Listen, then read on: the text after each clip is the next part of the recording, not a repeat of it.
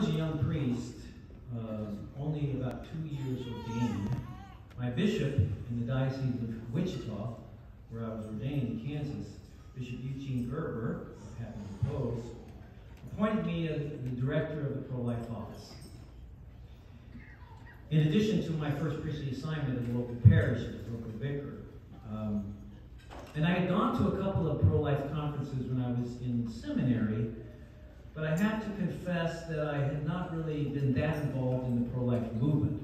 I kind of followed it from afar and believed in it. You know, as a convert to Catholic faith, I mean, I believed that what the church taught about the dignity of life was true.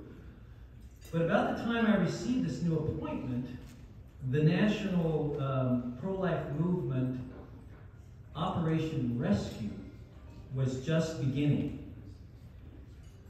And for those of you unfamiliar with Operation Rescue, this was a grassroots movement that sprung up in the late 80s, comprised of Catholics and Protestants. It was a real ecumenical movement that would gather people in front of the local abortion clinics who would then prayerfully and peacefully lay their bodies down in front of the entrances to these abortion clinics, effectively blocking entry into these facilities. This non-violent demonstration of civil disobedience was patterned after many of the nationwide demonstrations during the civil rights movement in the 1960s. And the goal of Operation Rescue was to save babies and spare women the trauma of abortion. These demonstrations would effectively close the abortion clinic down, allowing enough time for sidewalk counselors to provide alternatives to women and their babies who showed up at the clinic for their scheduled appointments that day. Once the police arrived at the clinic site, they would begin removing people one by one who were instructed to remain limp, forcing the police officers to carry the demonstrators to the paddy wagon. Protesters would remain limp, and because the demonstrations would usually draw upwards of 100 people, it would take most of the day to remove all the individuals. Planned Parenthood's own research wing, the Alan Guttmacher Institute, reports that if a woman has to reschedule her abortion, there's more than a 50% chance that she'll decide to carry her child to term. With the permission of my bishop, I became very involved in Operation Rescue and was arrested on many occasions. Yes? I know there are people in this audience who are very high in law enforcement positions in the state, but I must confess to be a serial loiterer. And I have a record. But on one occasion, the police officer who was uh, assisting me uh, knelt down and said, Father, please don't make me do this. I'm a Catholic, and I've never arrested a priest And so I looked up at him, you know, and I smiled and I said, um, Officer, you have to do your duty, and I have to do mine. God will understand. And he smiled and proceeded to pick me up and drag me over and put me in the back of the paddy wagon. But as he was dragging me across to the paddy wagon, he said, Father, something is terribly wrong with our country. That was over 30 years ago. And I've often thought about how many 30 year olds are alive today because of Operation Rescue. And how many women did not have to carry around the wound of the knowledge of aborting their own child. I have always believed very firmly that Roe versus Wade would one day be overturned. I just never thought it would be within my own lifetime. In said those exact words last January to our youth gathered in Washington, D.C. when we were all at the March for Life. And I believe that. I believe that they would see it, but I would never see it. I was wrong.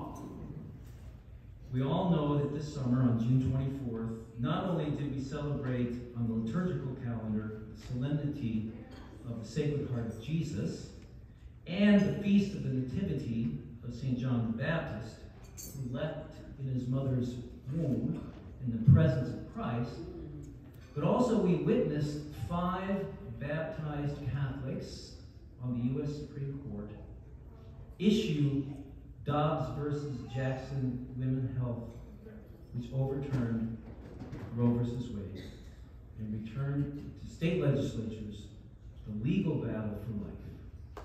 How about that for the past moment?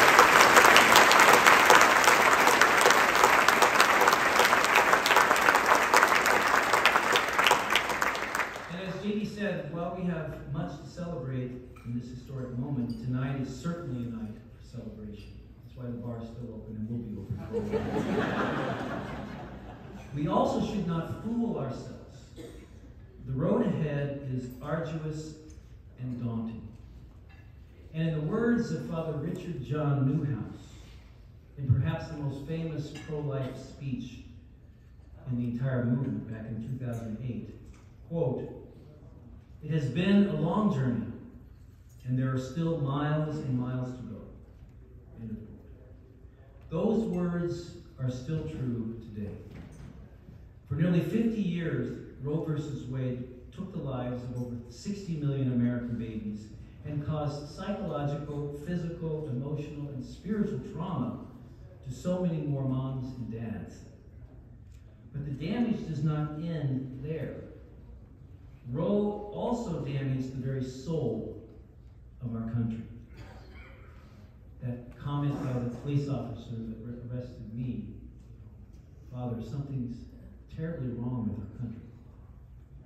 During the years of Roe's reign, millions upon millions of Americans have been miseducated and ill informed about the sacred and inviolable dignity of the human person. And though Roe has been rendered dead in the law, it continues to have significant influence in the hearts and minds of many across this state and this nation.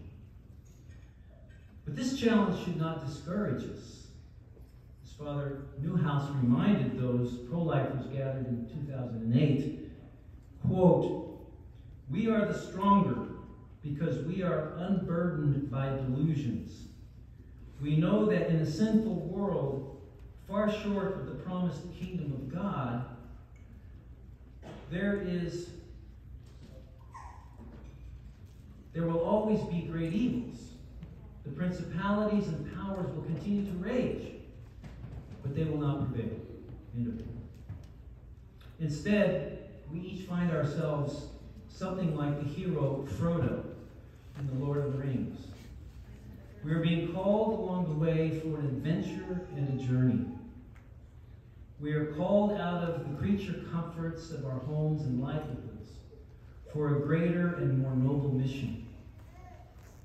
This mission is, of course, living out the gospel of life, which our Lord Jesus Christ has so perfectly presented to us. It is a mission that entails suffering and sacrifice, but it is a mission that ends in complete victory and eternal happiness. We were made for these very times.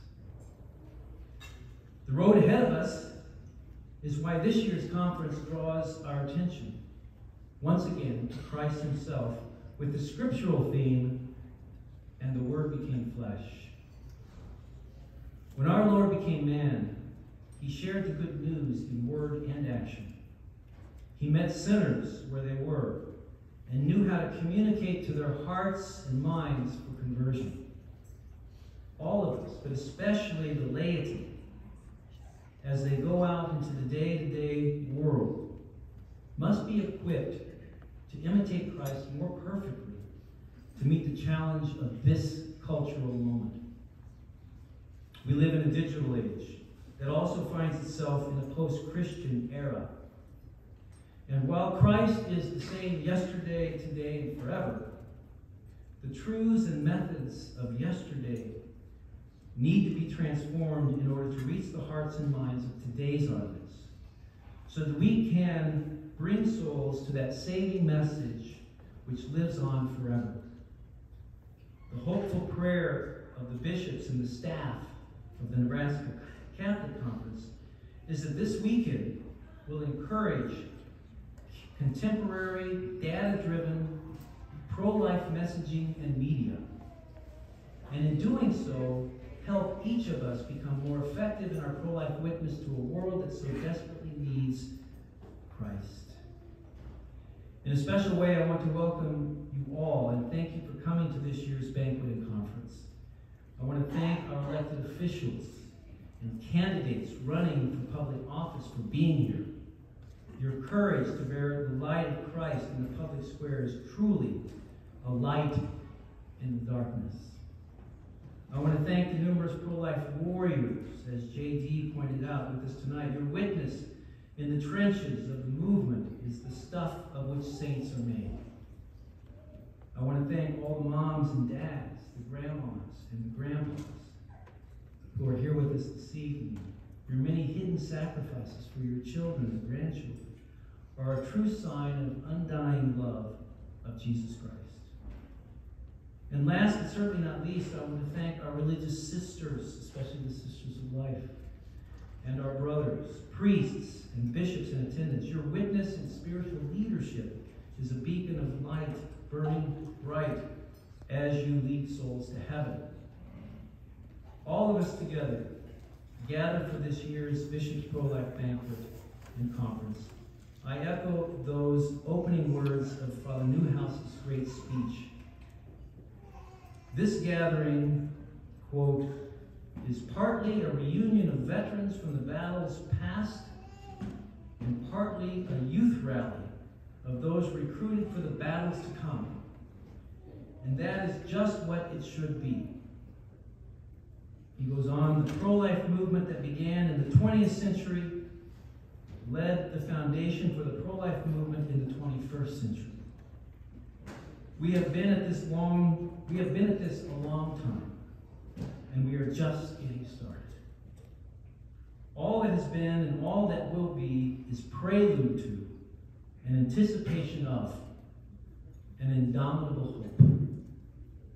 All that has been and all that will be is premised upon the promise of our Lord's return in glory, when, as we read in the book of Revelation, he will wipe away every tear, and death shall be no more.